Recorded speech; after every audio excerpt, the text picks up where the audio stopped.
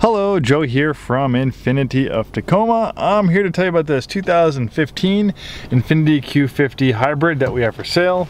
Uh, really cool version of the Q50. Unfortunately, 2018 was the last model year of the hybrid. Um, so if you really wanted a uh, Q50 hybrid, this particular example is a great one to consider. Unfortunately, they didn't really sell that great on the new side of the market, but in the pre-owned market, they actually sell really well. So um, I'm also the used car manager here, so whenever I see a Q50 available for sale off lease, I always jump at the opportunity of getting one because um, we do really well. This only has 28,098 miles at the time of making this video. Local uh, one owner clean Carfax vehicle, recently acquired off lease. We do have a complimentary Carfax report. Beautiful color combination in uh, Venetian ruby on black leather. You have a drive mode selector to tailor the transmission shift points, throttle sensitivity, uh, traction stability, stability control setting for different types of driving situations. Uh, power and heated front seats. Also has a heated steering wheel. You can see it has a dual display system. The top screen is for navigation, for the rear parking camera. The bottom screen is a tablet-like interface for vehicle settings and apps. This one has a great sounding Bose audio system. Beautiful aluminum trim throughout. Power adjustable steering wheel that tilts and telescopes. Moonroof. Automatic dimming mirror with universal garage door opener. The hybrid system used in the Q50 is a very well proven uh, hybrid system. It first uh, was used in the 2011 M35H, so it's not a new system at all by 2015. It's a very well proven system.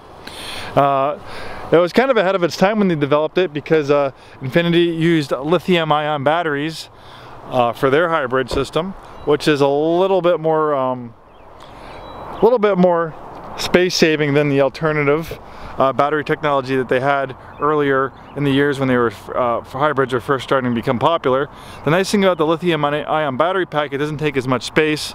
A lot of times when you see uh, hybrid sedans, uh, the trunk space is limited uh, due to those large battery packs, but you don't lose quite as much space in the Q50 due to the smaller lithium ion battery pack, but still very powerful. Um, you can travel up to a, about a mile just under electric power alone and up to speeds of 60 miles an hour. Uh, that electric motor makes about 60 horsepower and then you have a 300 horsepower uh, gasoline uh, engine so you have a combined output of 360 horsepower. Very quick, in fact the Q50 hybrid was the fastest version of the Q50 that you could get back in 2015 until they came out with the Red Sport 400 making 400 horsepower uh, the Q50 hybrid was one of the most powerful and quickest uh, Q50 versions that you could get. Um, fantastic 3.5 liter V6 that they use with the hybrid. The VQ35 engine is still using a lot of Infiniti and Nissan products, a very well proven engine, very reliable. Um, look at this beautiful color combination. Uh, Venetian Ruby is just a stunning color. Uh, this one also has intelligent all-wheel drive, so it's great in the wet, slippery weather we have in the Pacific Northwest. And that all-wheel drive system will greatly improve your wet weather traction. Uh, just because it's a uh, high performance hybrid doesn't mean it's not fuel efficient. You're going to get right around 30 miles per gallon in the city and on the highway. But uh, the whole idea about the Q50 hybrid, it's supposed to give you V8 levels of performance of V6 slash four cylinder type fuel economy. Come and take it for a spin. I think you'll be very impressed. And um, please contact us with any questions. Thanks for taking the time today to watch this video.